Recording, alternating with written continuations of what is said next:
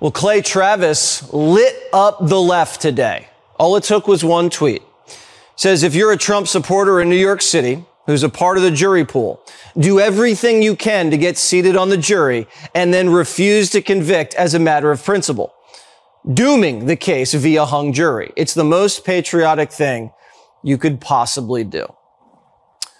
And Clay joins us now. Clay, you aren't suggesting that there's a stealth juror that maybe is dishonest during jury selection and totally boots this trial on purpose. Would you be suggesting something like that?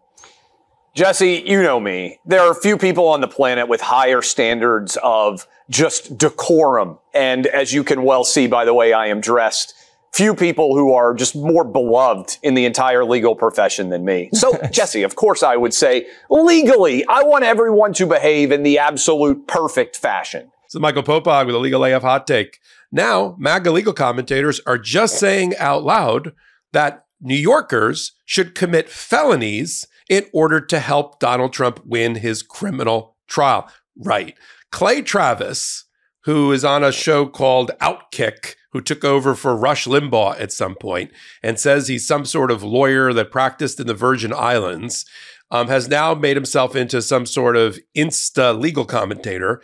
And he is in his own social media, and we'll put, a, we'll put it up on the screen here, has just said that to do their patriotic duty, people in New York should work to get onto the jury by lying about their ability to be fair and impartial, to get as many Trump MAGA people on as possible.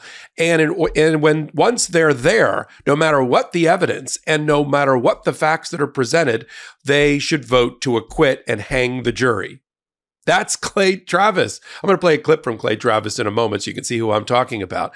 But let me just break it down first. The first request that he's making, yes, is a federal crime, even though this is a state prosecution. There is a specific statute, 18, 18 USC 1623, particularly, that I'm going to read for you, that Travis is actually encouraging people to violate. The statute says that whoever under oath, which is what you take when you're, you know, being a prospective juror, in any proceeding before any court of the United States, which includes the New York Criminal Court, knowingly makes any false material declaration or makes or uses any other information, knowing the same to contain any false material declaration, shall be fined or imprisoned. So when you are telling the court, and the other lawyers during voir dire, the jury selection process, that you can be fair and impartial when you're just trying to be a runaway juror who gets on, not going to put his hands or over their eyes and ears. It doesn't matter what happens in the courtroom, doesn't matter what the evidence is, doesn't matter, matter what the facts are. You're going to vote to acquit Donald Trump. That is a felony. and the um, the the comeback for that, you'll see Clay Travis's comeback for that is that he said, "No, no, I'm not asking uh, for people to commit a felony. I'm asking them to do jury nullification." And therefore, that's not a felony. I mean, I don't know what law school. Well, actually, I do know what law school he went to. He went to Vanderbilt and then practiced in the Virgin Islands. This is a guy, just so before I tell you why he's wrong again on, and I'll explain what jury nullification is. And I'm not making this up. I know I never make up things ever on Legal AF or really anywhere in my life. I don't blow smoke or sunshine. Clay Travis once went on a pudding strike because he couldn't get NFL Sunday ticket in the Virgin Islands when he lived and worked there. And he, which meant which means he ate nothing but pudding for 50 days in order to get DirecTV to give him the NFL Sunday package. That apparently is his main legal credential to tell you and me that New Yorkers, where he doesn't live, should commit felonies and willingly participate in unlawful jury nullification in order to do their patriotic duty to help Donald Trump. This episode of Legal AF is brought to you by Manukora Honey, also known as the honey with superpowers. Let me share something sweet with you. And I mean really sweet. It's something that's become a staple in my routine and I think you're going to love it. I'm talking about Manukora honey. When I say honey, you might be picturing those bear shaped bottles at the supermarket. But that's not what this is. Manukora honey is single origin, rich, creamy, and the most delicious honey you've ever had. It's supercharged with unique antioxidants and prebiotics and has three times more than your average honey. Manukora honey supports immunity, aids digestion, boosts energy, and helps balance inflammation. It's a game changer, and all you need is one to three teaspoons a day. On top of that, Manukora honey has a natural antibacterial compound called MGO, only found in Manuka honey. So if you're looking for something simple and delicious to add to your wellness routine, we found your new healthy habit. Now it's easier than ever to try Manukora honey with the starter kit. Just head to manukora.com slash legalaf to get $25 off. The starter kit comes with an MGO 850 plus Manuka honey, five honey travel sticks, a wooden spoon, plus a guidebook.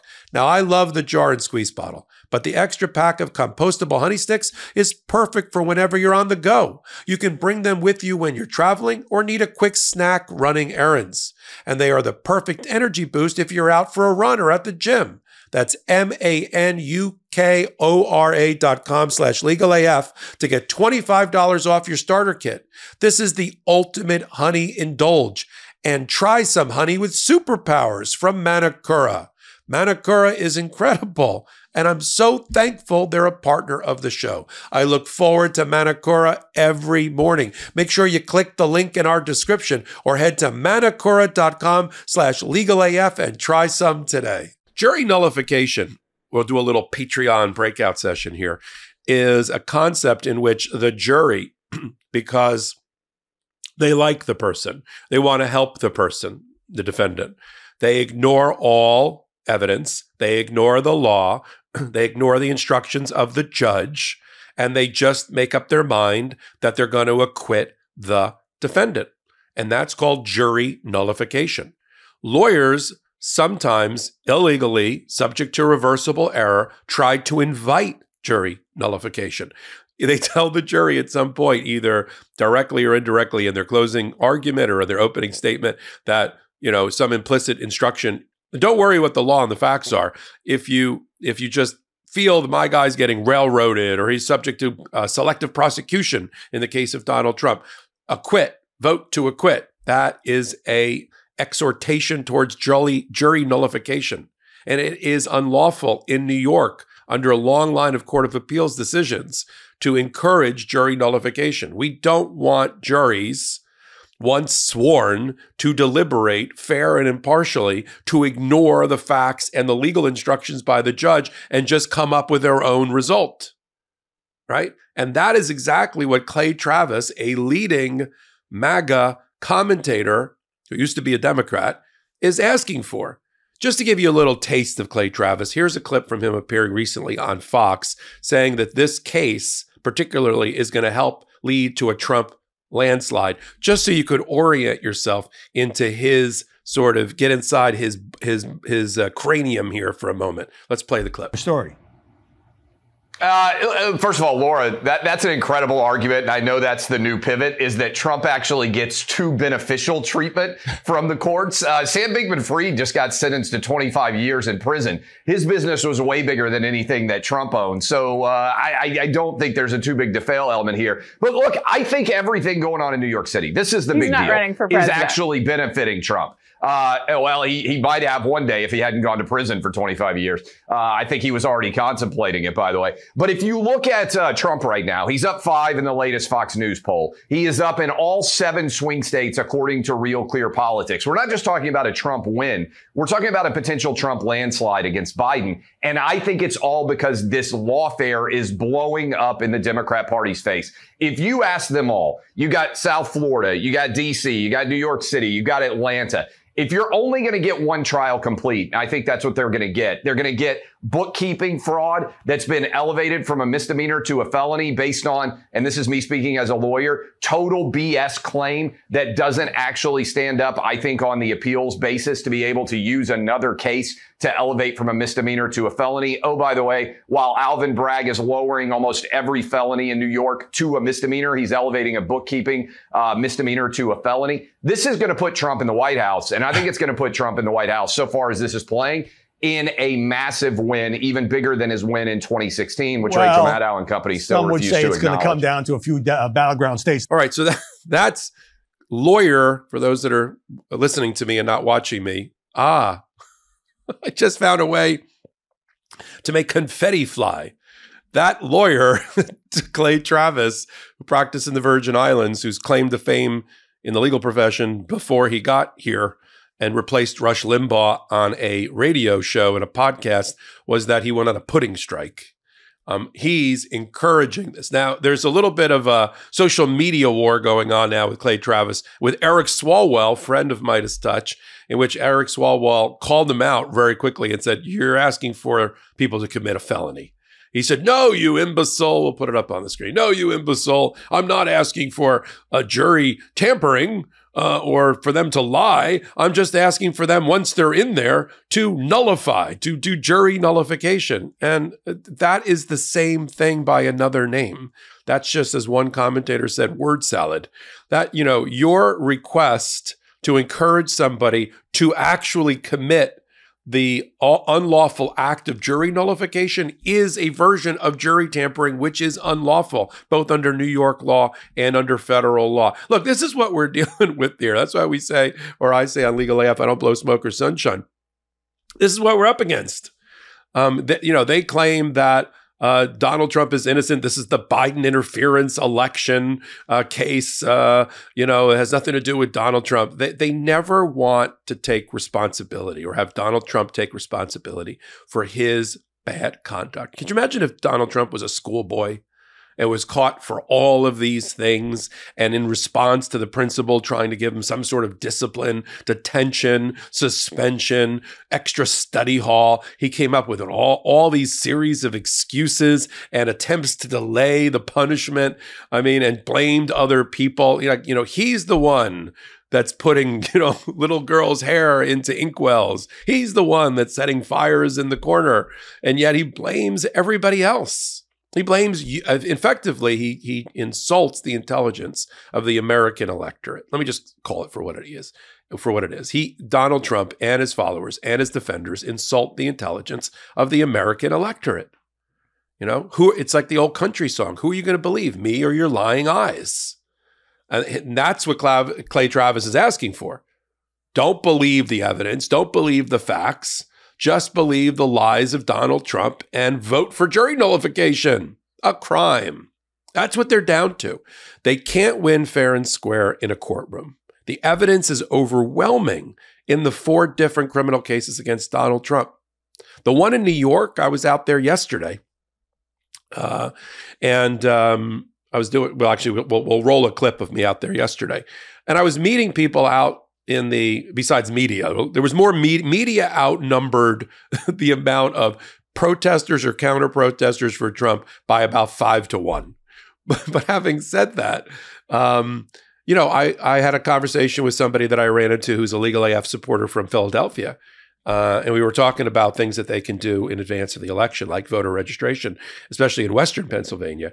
And and I and I basically pointed to the courthouse and I said to this person that I met, who's a legal AF fan, I said he's getting convicted of this crime. I mean that comes from thirty three years of experience in the New York court systems and in jury trials just like this one. The, the glass ceiling of Donald Trump being convicted has already been broken. He was convicted, his companies were convicted of tax fraud by this very same Manhattan DA in this very same courthouse, the, the 100 Center Street criminal courthouse for Manhattan, um, with uh, 12 other jurors, uh, with the same one of the two same defense lawyers on the other side. The only difference is Donald Trump will have to make a decision whether he's going to testify or not. And we know what happens when he testifies really terrible things to him. You know, judgments get increased tenfold when, when he testifies. You know, uh, you know, he by a lot. He testified in the New York Attorney General case, tried to do his own closing argument. What happened? $465 million judgment against him. He testified in the second E. Jean Carroll case, and the judgment went up with a new jury from 5 million to 83.5 million. Uh, New Yorkers don't like or trust Donald Trump. He does not, yes, he gets the benefit of being presumed innocent. I'm not, I'm not calling for jury nullification, but I also know my fellow people from Manhattan, the Manhattanites, and they are a hardy bunch who don't really like BS. And they don't, that's why you don't see a lot of people down. I, I mean, literally, I counted them. There were 25 people total who were down there for day one of the trial. No Marjorie Taylor Greene, none of her boyfriend, none of those other people. It was just rows and rows of media trucks. Uh, we'll show a clip of that and the um, about I would say 15 Trumpers, three wearing MAGA hats, and then everybody else was just against Donald Trump and calling for his conviction.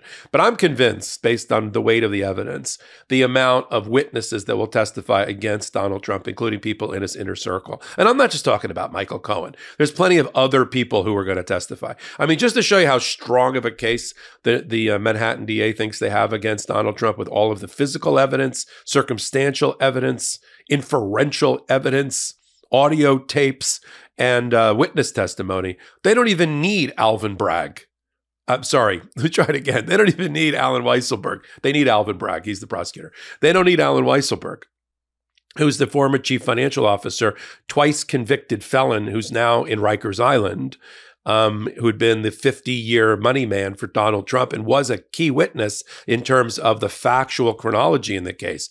They cut a deal with him to have him just be sentenced to five months, go to Rikers Island, and don't testify for the prosecution. That's how strong their case is. They don't need one of the people through which the payoff to Stormy Daniels and the books and records issue passed. That that's called uh, bravado, which I applaud uh, by way of Alvin Bragg. So look, we'll continue to follow it. We're doing you know daily shows on on the analysis. I'm doing hourly hot takes on what's going on from my perspective as a practicing New York lawyer and defense lawyer, uh, right here uh, on Legal AF. Uh, we do it on Wednesdays and Saturdays, a podcast. We pull it all together. Um, we do four or five other stories along with the Trump trial. Of course, it's taking up a lot of our time um, at the intersection of law and politics at 8 p.m. Eastern Time on this YouTube channel. And if you like what I'm doing, go over to MeidasTouch's YouTube channel, free subscribe, and then you can get all of my hot takes there under Michael Popok and playlists or contributors. So until my next hot take, leave me a comment and a thumbs up. It helps keep me on the air, so to speak. And until my next um, Legal AF, this is Michael Popok reporting. Heary, heary, Legal AF Law Breakdown is now in session. Go beyond the headlines and get a deep dive into the important legal concepts you need to know and we discuss every day on Legal AF. Exclusive content you won't find anywhere else, all for the price of a couple of cups of coffee. Join us at patreon.com slash legalaf. That's patreon.com slash legalaf.